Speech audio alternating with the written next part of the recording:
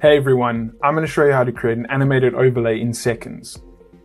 As you'll see in this example we did for AR segmentation, we used Veronique over her subject, her character intro. Um, that was done in After Effects using an After Effects template. Um, this is going to be a demonstration on how to do it really quickly inside of Canva. So I'm going to head over to Canva, I'm going to hit File, Create New Design, custom size, and then I'm going to be using 1280 by 1280. You'll see inside of Snappic, we're using 1280 by 1280 because I've selected square. If you select landscape or portrait, please change the pixels accordingly. So I'm going to hit create new design. And now we're going to make the background black. And then just to note the timing up here, this can be adjusted all the way up until 30 seconds. I'm going to keep it at 5 because inside our timeline you'll see the freeze frame is happening. The duration will be 5 seconds. So I'm going to keep it like that. Let's head back to the design. We're going to go to text. We're going to choose this thank you text. Uh, this example is going to be based on a wedding. Um, so I'm going to say team bride and then you could say team groom and have two templates. Um, it's also super customizable. You can make it whatever you want. You just change change this text um, according to the event. So I'm going to change the text to start. So let's make this a light blue and then the bottom will be a dark blue. And now we need to animate it. So we're going to head up here and hit animate and we'll go to burst for the team.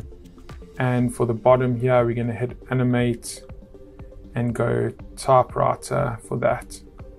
So you've got burst happening on the top one and just make sure animate is selected so it's both animating in and out. And the same for bride, typewriter and animating both in and out. So now you've got this animation, we can hit play and you'll see it animates in and then animates out. So I'm going to download this now as our first video. And then what we need to do is just duplicate the layer and then make this now all white. This is going to act as our mask. Don't worry about the download. So this is going to act as the mask now. So we need to make it white.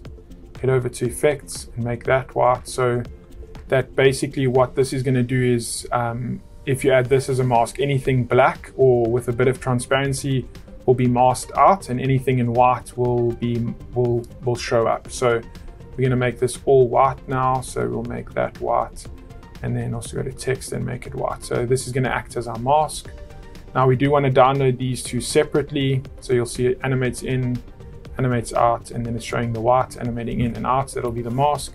Now we need two separate videos. So I'm going to go ahead and deselect everything and just select the second page and hit download.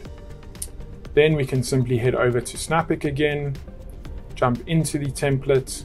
You'll see this is the original video. It is showing up now um, inside of Safari, which is the browser I'm using, as Safari handles um, videos with alpha. Chrome and Firefox unfortunately won't play this video. They'll show like a, a black box here, but it's not broken. It's just um, unable to display in those browsers. Um, but for this example, we're going to remove that overlay and I'm going to go ahead and add in the one with color, which is that one. And then for the mask, we're going to have the white. So that's that one. And then just to confirm, so here we've got the black and the white as the mask. And then here we've got the color one.